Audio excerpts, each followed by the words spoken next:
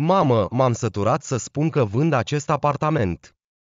Aceasta este proprietatea mea. Tu și Elena ați locuit aici patru ani. Patru. Nu am cerut de la voi niciun ban. Cu toate că aș fi putut să îl închiriez cuiva și să plătesc împrumutul cu acești bani. Acum m-am întors și vreau să-l vând. Am planuri. Iar voi vă veți întoarce acasă. Sau dacă doriți, închiriați un apartament în oraș. Nu văd nicio tragedie aici. I-a repetat Caterina obosită mamei sale încă o dată. Pentru a cincea oară în ultima lună. Ecaterina, născută într-un oraș mic din copilărie, a fost diferită de sora ei mai mare Elena, care părea să nu fie interesată de absolut nimic. Pe lângă dorințele primitive să mănânce bine și să doarmă dulce, Ecaterina a fost o elevă excelentă la școală, apoi la facultate și, în general, a fost o persoană cu ambiții. Anume, și-a stabilit obiective și le-a atins.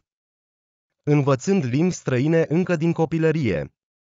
După ce a absolvit colegiul, a plecat în Europa într-un program de schimb. S-a dovedit că a avut noroc și a rămas acolo să lucreze. Într-o companie foarte prestigioasă. Ea a câștigat bani buni și a reușit chiar să-și cumpere un apartament cu două camere în capitală, deși în credit. În timp ce continuă să lucreze în străinătate, ea plătea împrumutul.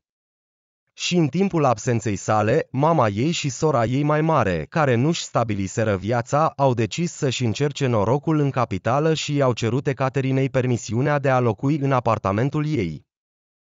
Pentru o vreme, dar toate lucrurile bune se termină și de asemenea și munca Ecaterinei în străinătate. Dar în acest timp, ea nu numai că a câștigat o experiență minunată, dar a întâlnit și o persoană acolo. El a fost o persoană dragă sufletului ei și au decis să nu se mai despartă. Singurul impediment a fost că tipul era din alt oraș. Viața în două orașe a fost foarte deprimantă pentru ei și Ecaterina a decis să se mute și a scos la vânzare apartamentul. Pentru care tocmai plătise împrumutul și urma să se mute la iubitul ei. Mai mult, avea perspective excelente de muncă acolo. Dar obstacolele bruște și neprevăzute, sub forma rudelor ei apropiate, au nedumerit-o foarte mult. Chiar au pus-o într-un fel de stupoare. A zburat acum o lună și s-a stabilit la o prietenă apropiată. Mamă și sora nu au vrut să se mute să stea într-o singură cameră. Iar Ecaterina nu dorea să se mute cu sora ei. Cumpărători pentru apartament au fost găsiți foarte rapid și ea a venit să le anunțe. Dar a primit în mod neașteptat o respingere dură. Elena! A, Elena! Elena! Ai auzit! Ai auzit! Vino aici! Mama a strigat în adâncurile apartamentului și sora mai mare adormită a apărut din dormitor în niște pijamale întinse. Fața ei era șifonată și a devenit clar că încă nu se ridicase din pat. La ora două după amiaza. Deschide ochii și ascultă aici. Ecaterina a venit să ne dea afară din apartament. Sora ta ne dă afară din casă. Ție nu ți-e rușine, a. Îți alungi propria mamă și soră dintr-un loc familiar. Mama s-a uitat la Ecaterina cu furie. Și Elena, în procesul de a înțelege ce se întâmplă, și-a scăpat treptat maxilarul. Ce este adevărat? Elena și-a întors capul întrebător către Ecaterina. Mamă, am cumpărat acest apartament din banii mei câștigați. Aceasta este proprietatea mea. Voi locuiți în el de aproape 5 ani. Acum vreau să-l vând. Am deja un cumpărător. A văzut apartamentul și totul i s-a potrivit. A făcut chiar și o depunere. Ecaterina repetă cu răbdare, încercând să nu se uite la fața umflată a surorii ei mai mari. Era deja obosită de acest teatru al absurdului. Dar ce să faci? Cum adică? Ai adus străini în apartamentul nostru. Unde sunt lucrurile noastre? Mama a țipat. În apartamentul meu, mamă. Ecaterina a răspuns. În al meu. Și nimeni nu va atins lucrurile. Ei bine, tu, în general, dai. Elena a introdus fraza, a cărei față a devenit în cele din urmă ca cea a unei persoane rezonabile. Îți dai seama că asta e stresant pentru mine. Nu trebuie să mă enervez, altfel îmi crește tensiunea. Tu vrei moartea mea. Nerușinato.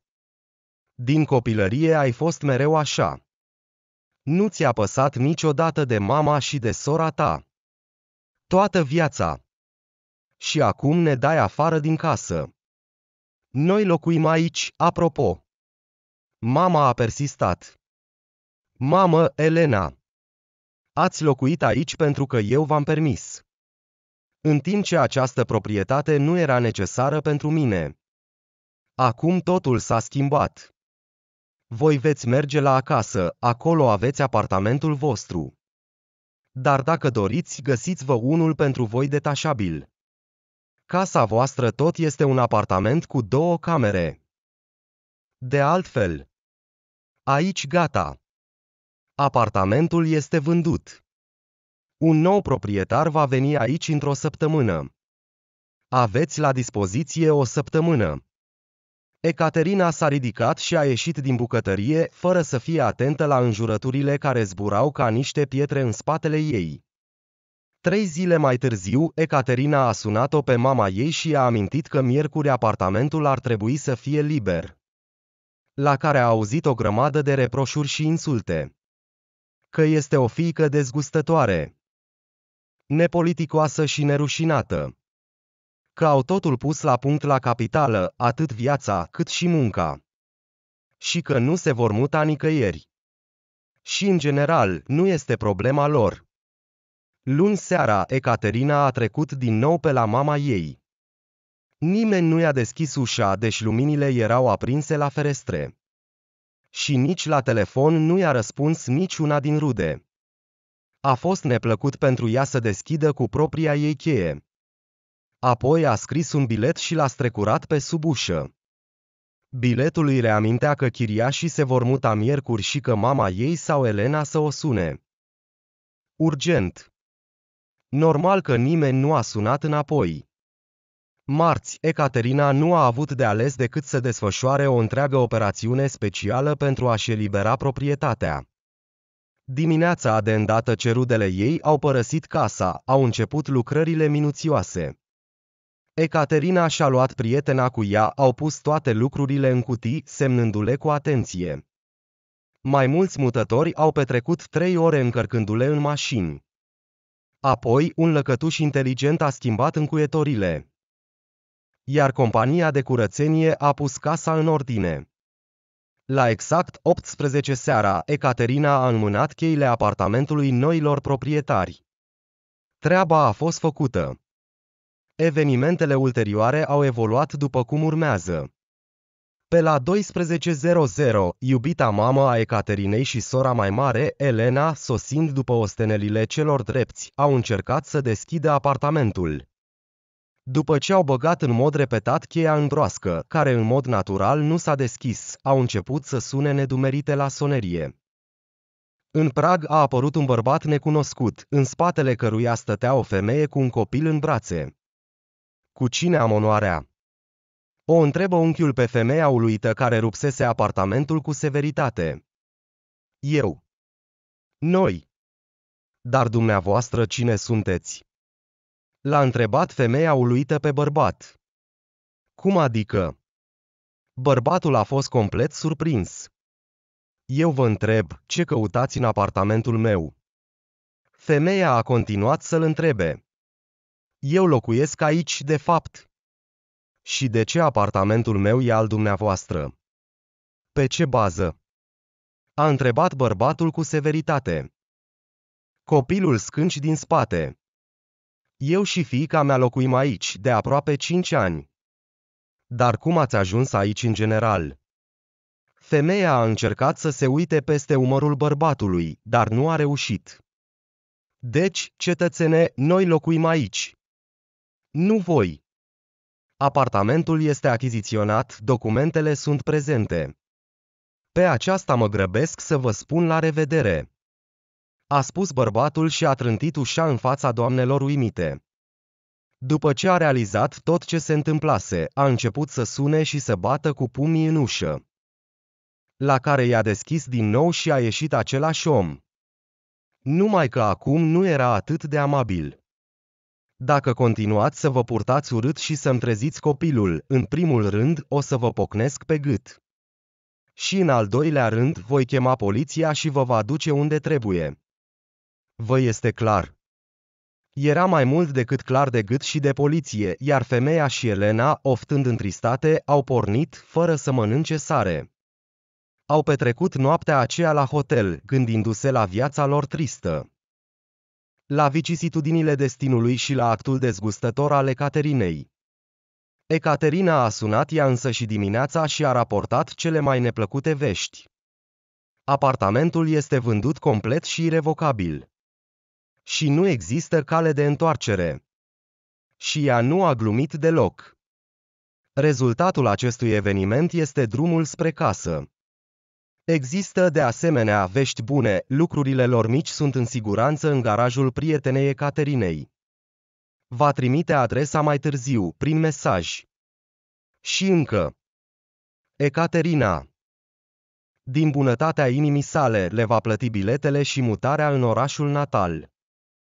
Ecaterina. Auzi. Să știi că nu mai ai mamă. Și nici soră. Tu nu ești om, ci ești un omorât moral, înțelegi. Întrerupând-o, mama ei a strigat în telefon. După ce a spus toate acestea repede și încercând să nu-și asculte mama, Ecaterina i-a închis. Dar ce voiau ele să le fac cadou acest apartament și eu să rămân cu nimic? A stat nemișcată un minut sau două, apoi a răsuflat ușurată. Și-a stabilit un obiectiv și l-a atins, totuși, ca întotdeauna. În fața ei o aștepta o nuntă și o nouă viață. Unde, însă, nu era loc pentru rudele ei. Și probabil că nu a fost vina ei. Dar se întâmplă. La urma urmei, nu depinde totul întotdeauna de noi. Viața este un lucru minunat, dar foarte dificil.